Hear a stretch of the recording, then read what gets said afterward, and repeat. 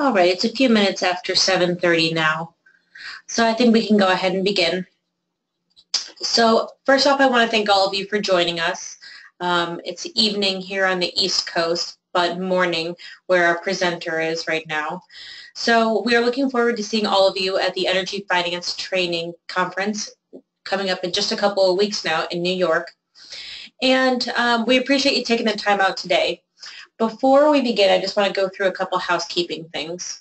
The first is that, again, my name is Jessica Studney, and I'm the Media Relations Manager here at IEEFA. And you will see that my name is listed as our Executive Director, Sandy Buchanan. Um, so if you need to reach me, um, please feel free to do so through the chat section on the right-hand side of your GoToMeeting bar. Um, questions are welcome please feel free to send them to me through the message uh, chat section. And what we'll do is I'll reserve all of those till the end of the presentation, and then we will go through them one by one. Another thing is to um, please put your phones on mute. I think uh, everybody might have already done that so far. It sounds a little quiet out there. And then finally, um, you will have access to the presentation uh, that we're going through during the webinar. We'll have it posted online on IEEFA's site um, in the coming day or so following this webinar. So with that, I would like to introduce our speaker for this evening, Yulanda Chung. She's an energy finance consultant with us, and the topic of her presentation is Understanding Project Finance for Coal-Powered Transactions. Hello, everyone.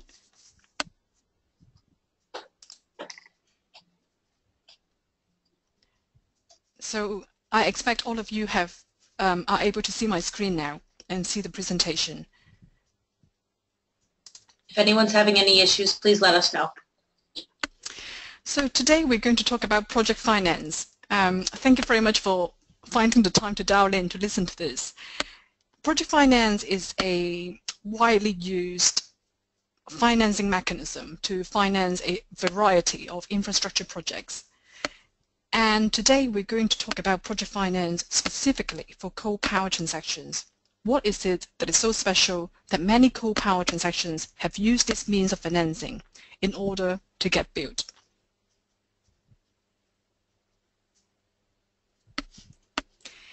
We'll be talking about the basics, the fundamentals of project finance, and I'll introduce a few keywords, terms, and phrases that you'll hear a lot and read about when you analyze project finance transactions. Then I'm going to talk about the individual players in the transaction, the lenders, export credit agencies, and the project developers, project sponsors. Project finance is by definition, is the financing of long-term infrastructure based upon a non-recourse structure. The key word here is non-recourse. Now what that means is that the lender, the bank, that is lending money towards the project is only entitled to repayment from the profits of the project the loan is funding and not from assets of the borrower.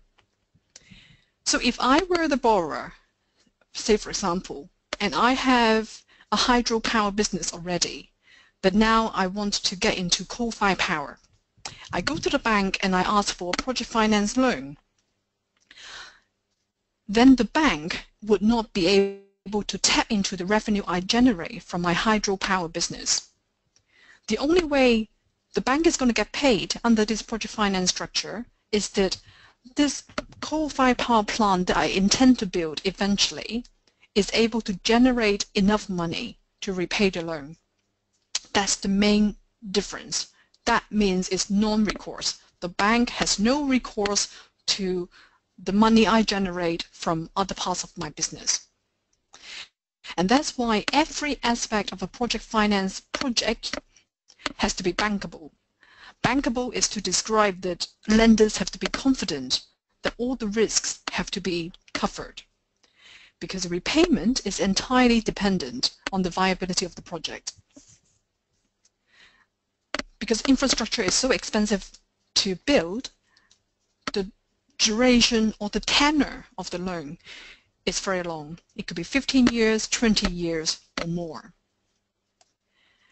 I know I say that the key word here is non-recourse when it comes to project finance. In reality, though, truly non-recourse project finance deals are very rare.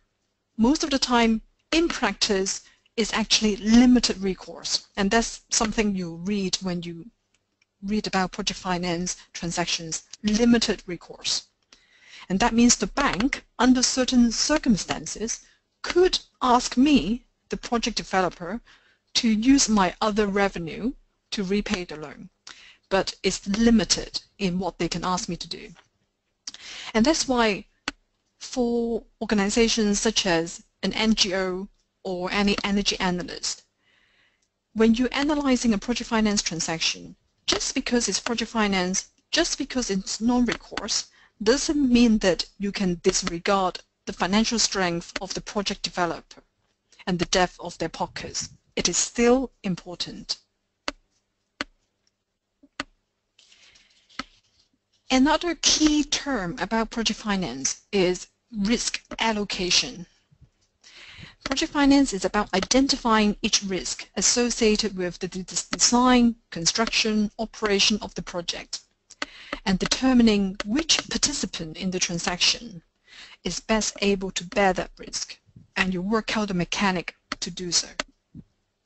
An example is I'm going to build a coal-fired power plant. The main risk is completion risk because we don't know for sure can the project be completed on budget and on time? That's a huge risk. And when construction costs and overruns do arise, the lenders are not expected to advance additional funds. They're not going to lend any additional money towards the project. Then what do we do?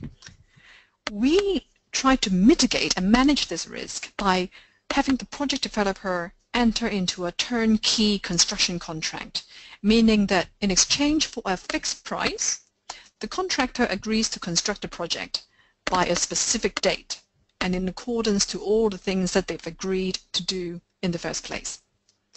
So in terms of risk allocation, now completion risk has been allocated to the contractor. It's not borne by the banks, it's not borne by the project sponsors. And there are dozens of risks like this that the banks have to check off and find someone to bear that risk before you could achieve financial close. Another key term here, a lot of the times we hear NGOs saying we want to make known our challenges to a coal-fired power plant uh, being planned to build. We want to make known our complaints before financial close It's a very important watershed. And you also hear it from the banks saying, oh, you know, we have to check off all the things that we have to do, all the conditions before achieving financial close. Our year-end bonus is dependent on this. Financial close is the date of the initial drawdown. Drawdown is the transfer of the funds, of the money coming from the lender to the project to start implementing it. And financial close can only occur when all the condition precedents are met. Condition precedents is just a fancier way of saying the things that you need to do before financial close. And these conditions usually are permitting planning approvals and another important issue for um, coal-fired power plants is land acquisition.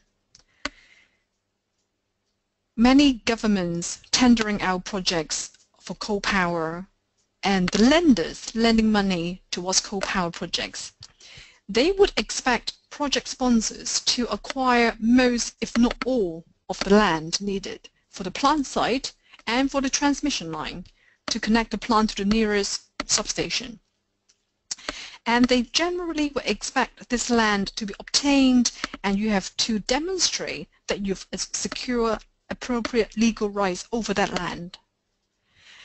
So land acquisition being a very prominent condition precedent very often stumble really scooper a transaction and delay financial close at the very least. And also as a result, you see that NGOs very often work with communities on land issues and is a very powerful way to show that the power plant may not secure financial close if this particular issue is not resolved. A quick summing up, the key difference between project finance and a corporate loan. So I were the developer. I have my hydropower business. But if I were to go to the bank and I ask the bank for a corporate loan, then the bank would have recourse and they're allowed to tap into the revenue I generate from my hydropower business. Even though I told the bank I want to borrow a billion, but that billion dollars is only going to be used for the coal-fired power plant I want to build. Regardless of that, the bank, in a corporate loan structure, would be able to ask me to sell off all my other assets, hydropower, etc., to repay that loan. In project finance, it's the very opposite. In fact, officially, the borrower is a special purpose vehicle, SPV, and the lender is only allowed to use the cash flow generated by the project to repay the loan. And that's why project finance is sometimes also called cash flow lending.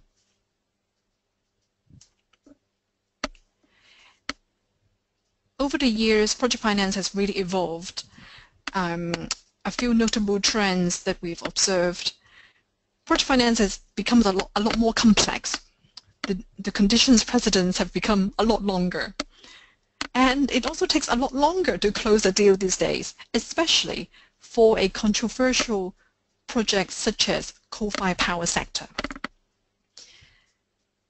One very notable trend in project finance for coal-fired power is that European and North American banks have retrenched from financing coal-fired power projects.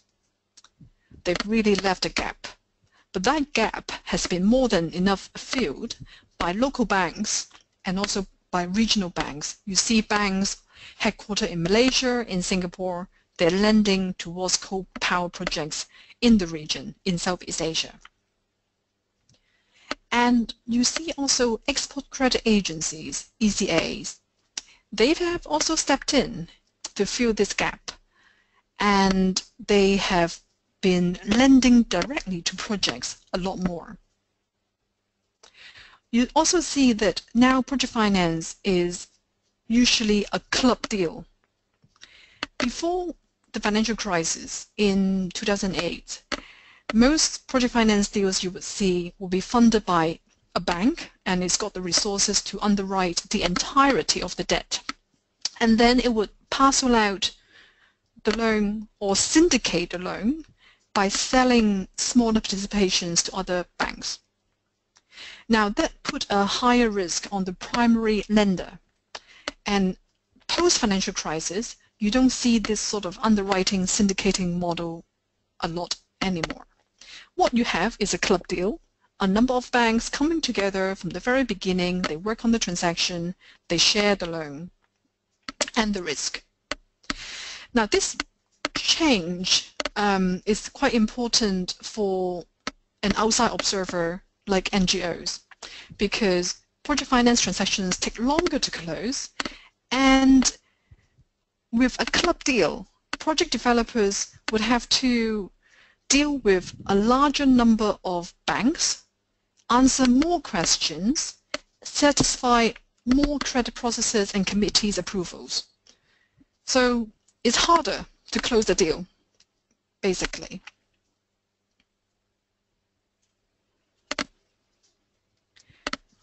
What I've shown on the screen now is um, a very standardized business flow for projects backed by an independent power producer, an IPP. It goes from pre-qualification to financial close to commercial operation date and then eventually end of contract. During the pre-qualification stage, a lot has happened already so during this stage, um, project developers have come together, they form a consortium, and they would appoint a financial advisor. The financial advisor would be likely to be a, a, a bank, and the advisor would line up a number of potential lenders to the project.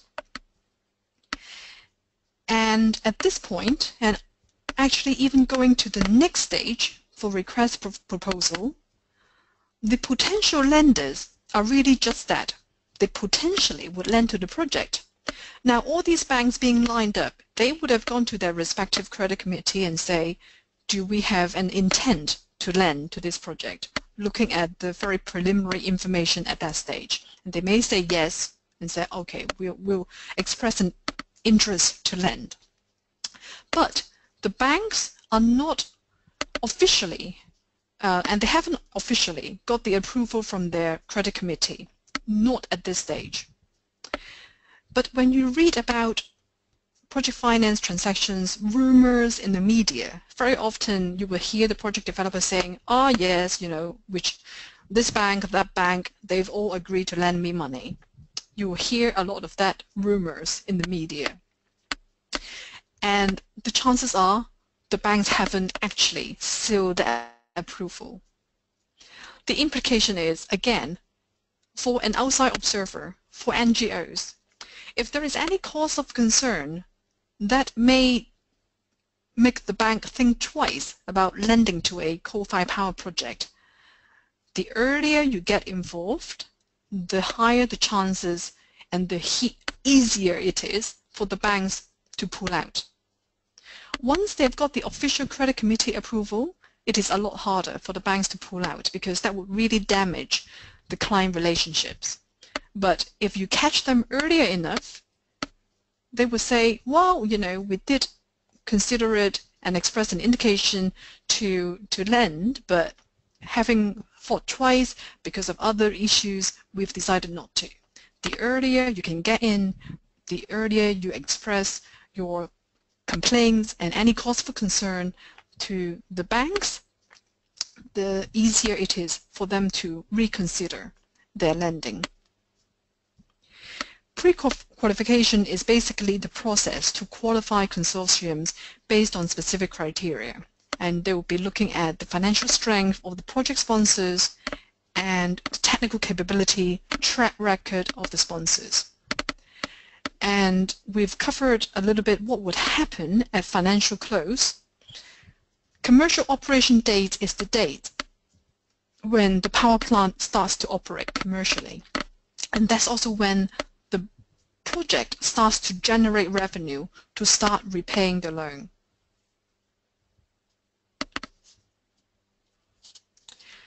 What I've shown here now is a typical project finance structure chart.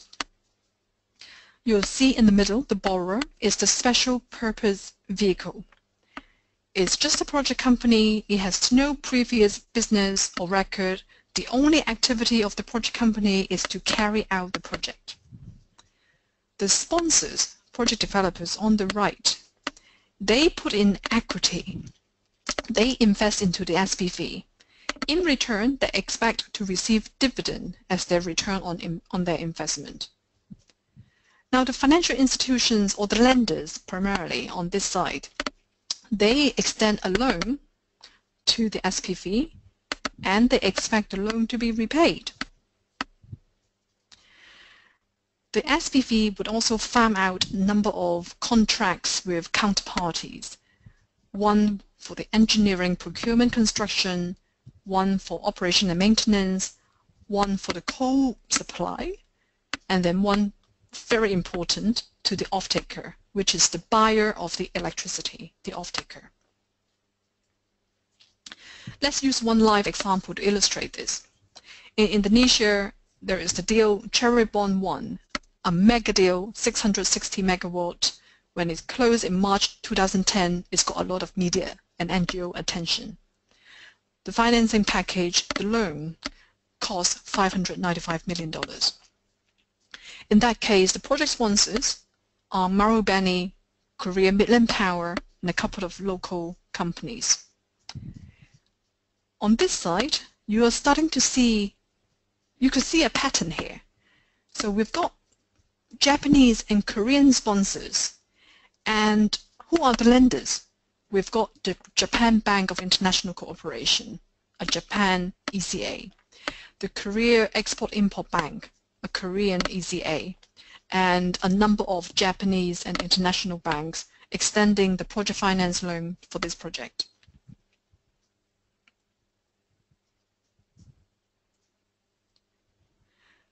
A second example, this time in Vietnam, an IPP project Mong Duong 2. Big capacity 1,200 megawatt. It's got financial close in September 2011. Again, really mega project, lending one and a half billion dollars towards the project.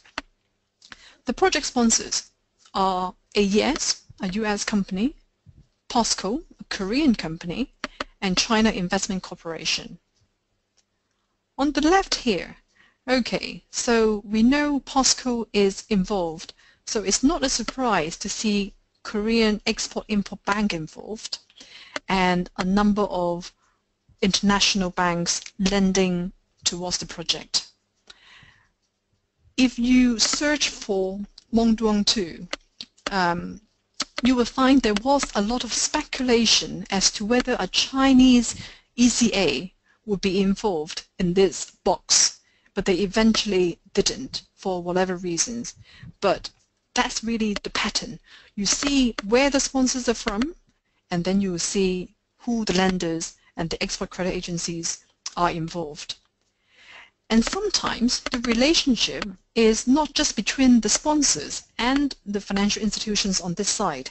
It's also be between the counterparties here and the banks. So if we have a Korean engineering procurement construction contractor, the chances are that EPC contractor can bring in Korean ECA as a lender or as, a, as an insurance guarantee provider. To the extent that sometimes a more expensive EPC contractor could be chosen if he can bring in an ECA from the home country compared to a cheaper EPC, uh, EPC contract without ECA involvement. That is how important ECAs have become and the way to bring them in is to appoint whatever contracts coming from that country. So with Mong Duong 2, you see the off-taker is EVN, the electricity utility. The fuel supplier is the um, state-owned coal mining company Vinacomin. The EPC contractor is a Korean contractor. Okay, next we're going to look at the individual players in the transaction. And the first one is the lenders. The lenders would look very closely at a particular financial ratio, the debt-equity ratio, meaning how much of that loan, uh, sorry, how much of the total capital investment into the project would be financed by debt and how much of it will be financed by equity that is put in by the project sponsors. From the sponsors' perspective, they would like to raise as much debt as possible. Ideally, they put in 5% equity and then the rest could be financed by debt because they don't want as much of their money to be at stake. And also when you calculate the cost of capital, the higher the debt portion, the higher the returns are for the equity owners. So these days with project finance, you would see that the ballpark ratio is 70% debt, 30% equity, 70-30 or 75-25, around that range. Another term that you would come across is covenants. Covenants are conditions put into the loan documentation and these represents all the things that the project has to fulfill throughout the life of the loan. And with the implementation of the Equator Principles and IFC performance standards that govern project finance, you will see many environmental and social conditions or covenants being put in. So even though financial close is a very important mark in the transaction,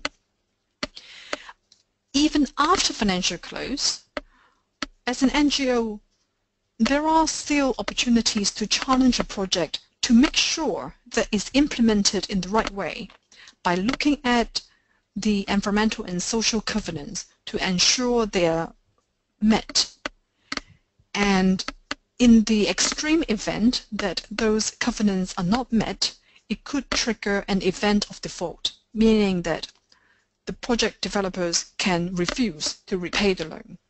And that's why banks are really on the case when it comes to covenants. They want to make sure nothing would become so serious and so unresolved that it would trigger an event of default. Another thing that the lenders look very closely at is the power purchase agreement tariff. What the project developers expect to be paid when they build the, uh, the power plant. It's made up of five components. The most important component is capacity payment. Now, capacity payment is available as soon as the plant is ready for dispatch, regardless of whether the electricity is actually generated or used or evacuated into the grid. I build it, I made it available, I get paid. That's all. And sometimes this is also called take or pay arrangement because you either take it or you pay me. Either way, I get paid. Capacity payment alone is enough to repay debt and to provide an equity return to the sponsors. So in a way, all the other components is a bonus. Is you know, it's very good to have, and the banks would like to have it, and the sponsors would like to be paid. But these are costs that occur when you're actually running the plant. Capacity payment is paid when I made the plant available for dispatch. I may not even need to run it to get paid. It's a very important consideration for investors and for the banks.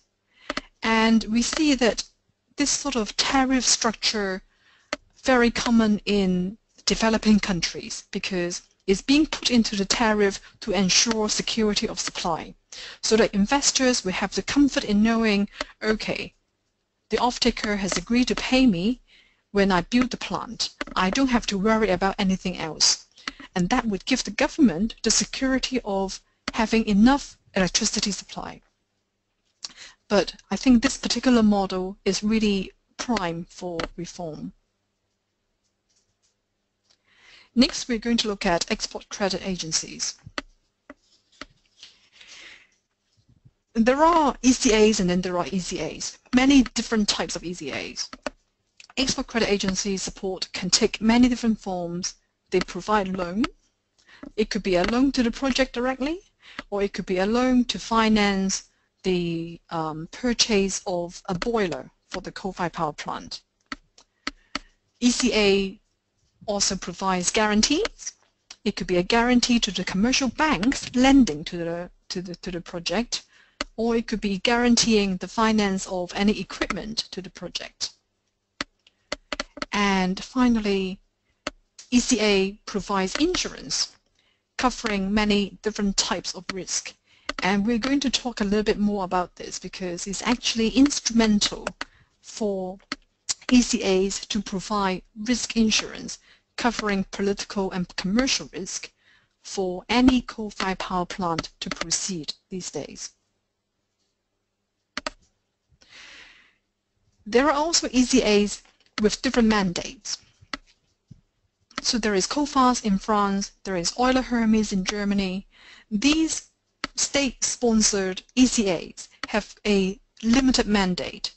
It, they're not allowed to lend directly to the project or to buy equipment, but they're allowed to provide guarantees and insurance. And that stands in contrast to ECAs from the US, US Exim, or JBIC from Japan, or Korea Export-Import Bank. They are allowed to do all three. They lend, they provide guarantee, they sell insurance. And that is why to pick the right ECA to be involved in the project finance transaction is important. If you have a choice to pick between a German ECA whose mandate is a little bit more limited and compare that with a Japanese ECA that is allowed to do all three, as a project developer, I'm going to think, shall we just pick a Japanese EPC contractor? That would make life easier, isn't it? Risk insurance. So I said that um, it's a very important product coming from the ECAs in providing this. In fact, it's so instrumental.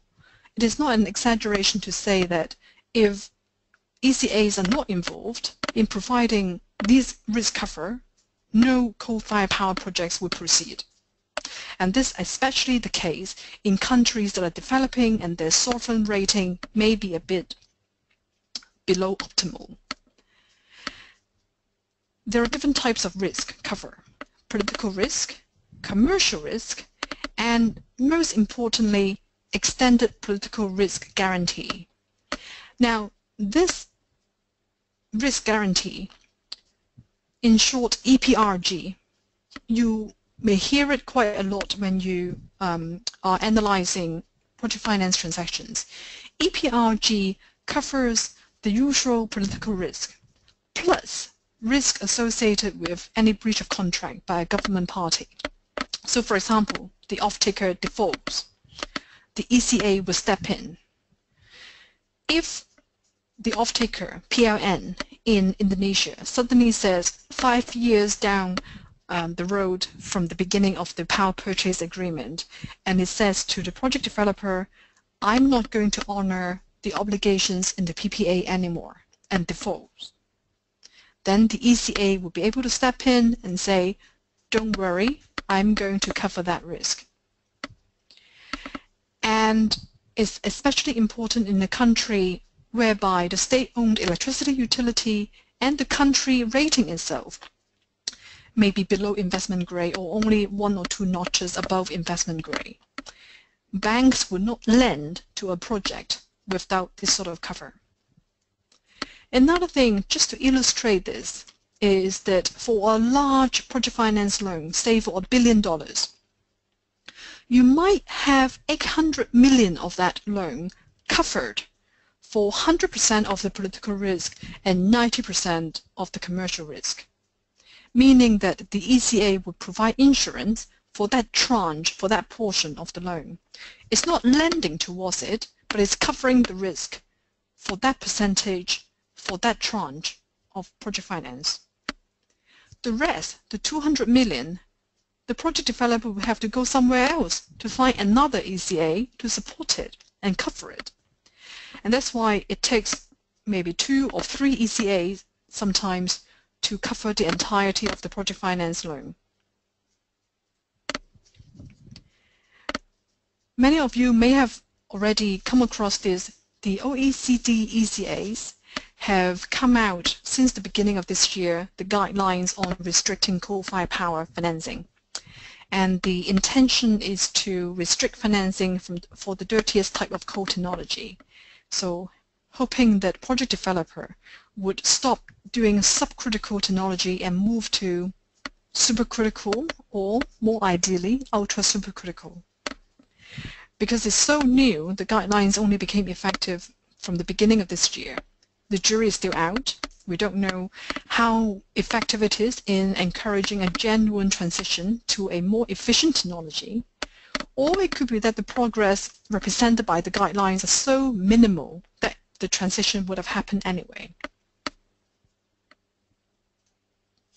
Finally, we look at project sponsors. Project sponsors could be a single party or more likely is a consortium. You have a power developer, you have a fuel supplier, a coal mining company, and you have an EPC contractor. That's really the ideal composition of a consortium. That's what the government would like to see in the tender. They like everyone having a bit of skin in the game. And for the coal mining company, that's really a trend for them to go downstream into power generation. It makes money for the mine, and it allows them to um, secure supply for the project. It, it's very logical for them to get involved. We've seen a lot of Chinese participants in the independent power producer market. Names such as China Shenhua Energy, the largest coal mining company by market cap, very active in Indonesia. And then there are power generators such as Huadian, China Southern Power Grid, Power Construction Corporation of China. They've all been very active overseas. And then there are the top Japanese trading houses, Itochu, Mitsubishi, Mitsui. They are also familiar names for overseas power projects. However, we are starting to hear from these players that they are acutely aware of climate change risk and that they are on the radar of many NGOs. Mitsui has been reported saying that they will cut its investment exposure to coal by a third within three years. Sojitz has also said something very similar. And for many of the Chinese power developers, Japanese trading houses, their domestic markets have shrunk. In China, the country has suspended a lot of the coal power plants in the pipeline. In Japan, in spite of the intention to build a fleet of coal-fired power plant, the plan is going very slowly.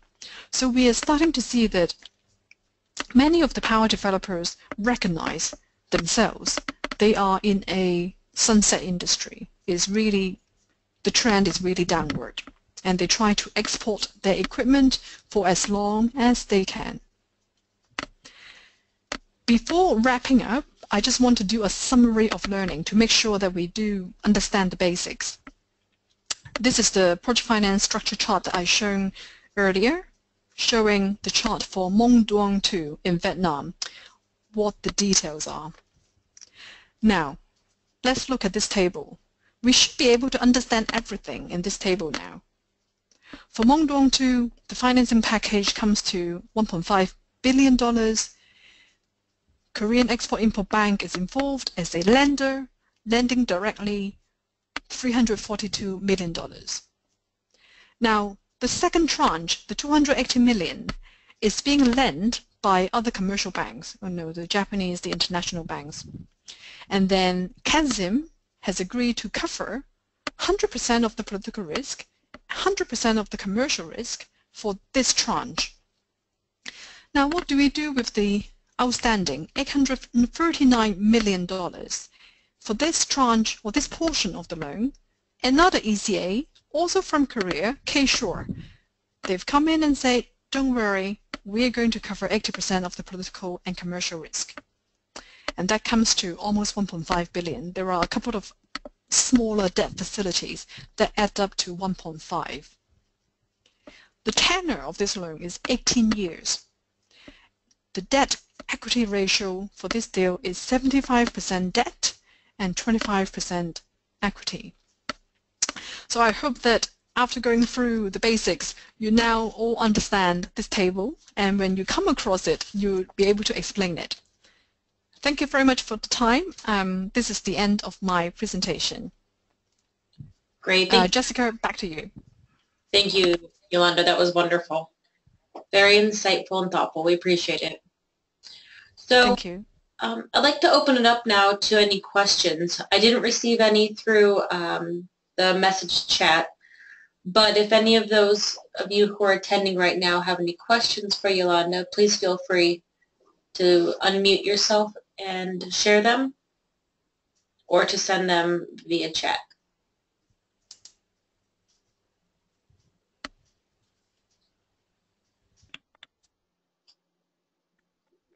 Okay. Oh, we- Yulanda, can, Oh, oh. Go ahead. Dan, is that you? Yeah, sure is. Okay, go ahead, Dan. Yeah, sure. Thanks, Yulanda, for your presentation. This was really helpful. I, I didn't know much about project finance uh, or the intricacies before this. Um, I want to go to what you were saying about the transition to club deals um, as opposed to the underwriting and syndicating model. Um, you mentioned that project developers have to deal with more banks, which means there's more uh, legwork on their end to answer questions and, and satisfy the, the bank's checklists, um, and therefore it's harder to close a deal. But does that also mean that uh, the, the, the project might be less vulnerable to banks backing out if they, if they from the very get-go have uh, a whole uh, club of banks that they're talking to? Interested in your thoughts on that. Thanks. Yeah. Uh, not necessarily. Uh, just because a bank is in a club deal doesn't mean that it's less likely or more likely for them to stay on. Um, I think anything is, is, is possible before financial close. Um, and there are many issues that can crop up, land acquisition issues, permitting issues, air pollution issues, um, any legal challenges. So anything that um, you can uh, convey to the project developer and to the banks before financial close uh, would give them cause for concern. And whether it's an underwriting model or to a club deal uh, is is uh, less relevant. I think it could be uh, a material consideration if you're the underwriter. So if you are in the old model, you're underwriting the entire deal. So that means you're really holding the key to this client relationship and the client is relying solely on you. And that means the onus is so much greater for that bank not to pull out. Okay, great. Thanks a lot. I appreciate it. Yulanda, we have another question for you, which is, can you explain what is better or worse about debt versus equity financing? Sure. So that really goes to the heart of you know, how to finance the debt equity ratio. If it is entirely debt finance, uh, well, okay, actually, let me step back. Infrastructure projects are very expensive to build. So it would be very unlikely for it to be solely equity financed, that the project developers themselves put up billions of dollars to build a toll road or coal-fired power plant. That's very unlikely. But when you are looking at the ratio and you are comparing what is better, is it debt better or equity better, usually from the sponsor's perspective, they want as little equity as possible, even if they have the money to put in more equity. And that's because um, there is a there is a formula that the banks would use is uh, to calculate the weighted average cost of capital is to calculate how much it costs to you as a bank in lending that money because that money also costs money to have. And um, if you just follow that formula, uh, the higher the debt portion, the higher the return on equity it is for the sponsors. So from their perspective, I want only 5% equity or even less if the bank would have it. But from the bank's perspective, they'll be saying, no, no, no, I don't want to take on all that risk. You have to really put in some money of your own. Um, also, in terms of um, the hierarchy of debt and equity, which one would have um, the privilege or the priority in assessing the project if anything, say, goes wrong? Debt would have priority over equity, and as a result, debt has a um, lower interest, uh, lower return compared to equity. So it really depends on who you're speaking to, whether it's the sponsors or the banks. Does that answer your question?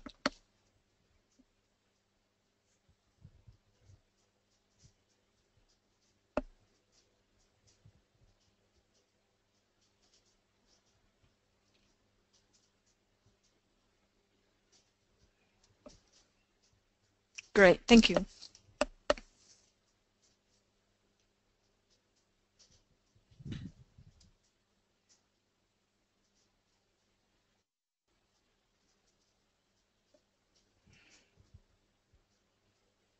Um, I also have a question. Uh, Sure. Thank you. Thank you very much for the presentation.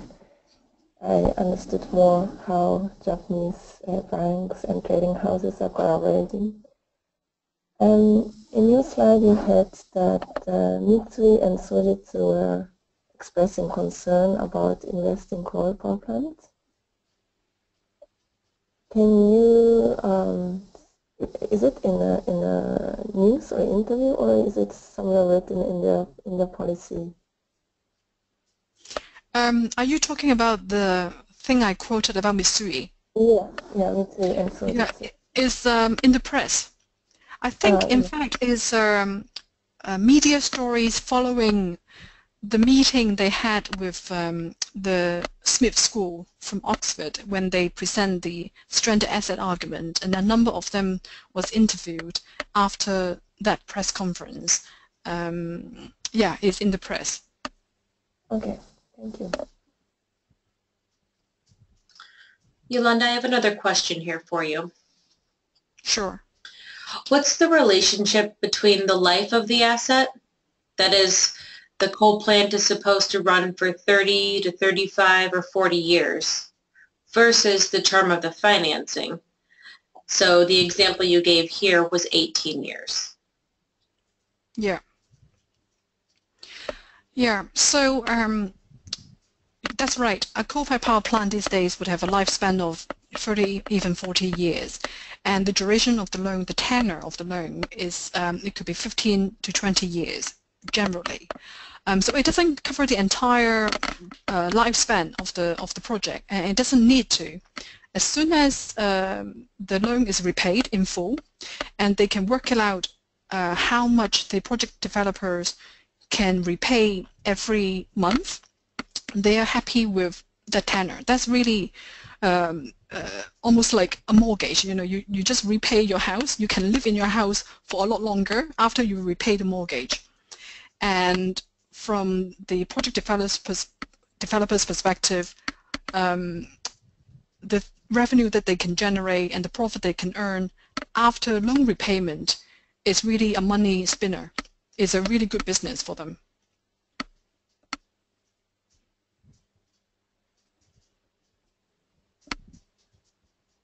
Thank you. Does anybody else have any questions that they'd like to ask Yulanda? Yes, I do. This is Nancy, if that's okay, please. Yeah, absolutely. Sure, thanks. Thanks very much, Yulanda. This has been very helpful. Um, I'm wondering if you could talk about, sort of in broad terms, I've always wondered, like, if you took one coal plant and you followed it through its life, you know, it, one unit 40 years ago maybe cost $50 million, and then we put all this, uh, you know, en- environmental controls on it for $100 million, and the utility writes off, I don't know, $80 million for it, or I, I'm not sure, but I've always wondered how do all these numbers kind of stack up for an individual coal plant if we step back or we look at the big picture and say here's what the you know, here's what the initial coal plant cost here's how much we spent on interest you know here's how much they depreciated that might be out of the scope of this but it's something I've been wondering about for a long time Yeah. thank you Yeah. Um, so I think um, there are many variables when you are dealing with long lifespan infrastructure projects, such as power. And many things can happen. And as I said in the beginning, when you are first um, uh, when you when you first approach a coal-fired power plant and you're given all these numbers, okay, th this is the capital investment, this is the fuel cost, and this is the tariff, how you're going to get paid and how much you're going to get paid. But then eventually, as regulations moved on, as uh, technology has moved on, as societal expectations have moved on, suddenly 15 years later, your plant is still running, but then the government says, no, you need to put in a scrubber because I don't want too much sulfur SO2, SOx and NOx in the air. So you have to actually put in new money and invest in the plant. That's one variable. And there are many things like this that crop up during the lifespan of a project like this. Um, and all these additional costs haven't been factored in in the beginning when you are financing your, uh, you know, when you're streamlining your financing package. So you're right. Um, you can't actually take a snapshot of the project in the beginning and say this is going to, going to stay constant for the rest of the lifespan of the project. It's not. New things will crop up. More likely than not, it's going to impose additional costs to the power plant. And whether that means that the power plant would become stranded because it cannot continue to operate and continue earning revenue and you have to uh, even write it off. Or maybe you suffer a little bit as a project developer. You don't earn as much but the government has all sorts of subsidies still propping up the project. So you're very spot on. You can't just take one snapshot of a project and say this is it. This is going to stay constant for the next 30 years.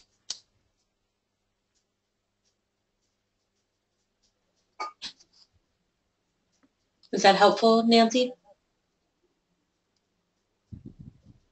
Yes, it is. Thank you. And I, I've just been wondering, though, too, to get a little bit more into that. Is there, like, you know, let's take a coal plant like, you know, Navajo Generating Station or something that has been in the news a lot lately. Is there a general uh, principle, for example, that, you know, that utilities are able to write off far more than the initial cost of the plant? Or I've always wondered, you know, how much, how much, how much, you know, what's the ratio between what they can write off versus what the initial cost was? Um, not sure I'm being very clear, but to kind of get the big picture of a coal plant, because I know I was struck when I looked at some of these coal plants of how small the initial cost was compared to the total life cycle cost of the plant. Mm-hmm.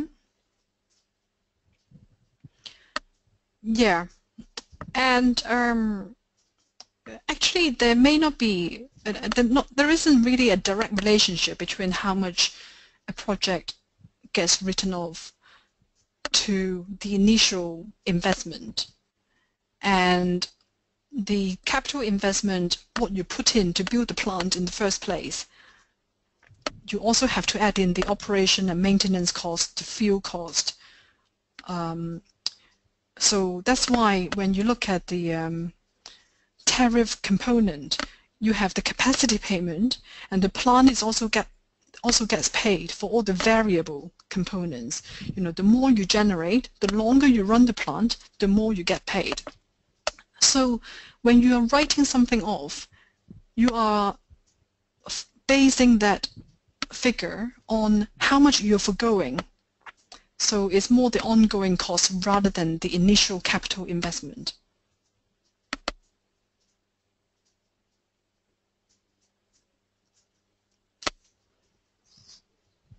Thank you.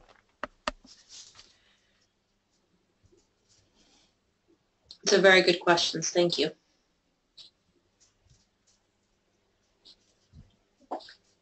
Does anybody have any others?